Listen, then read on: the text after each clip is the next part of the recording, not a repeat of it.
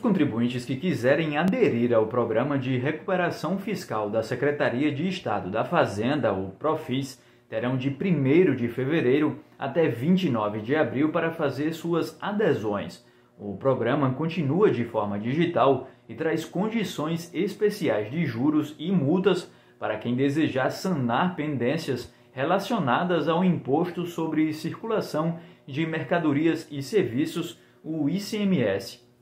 Os interessados poderão parcelar o débito fiscal consolidado em até 60 vezes, com valor mensal fixo e redução de 60% das multas, juros e demais acréscimos legais.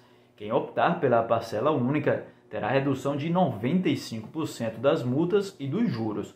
Já quem escolher pagar em até 10 vezes terá desconto de 90% nas multas e nos juros.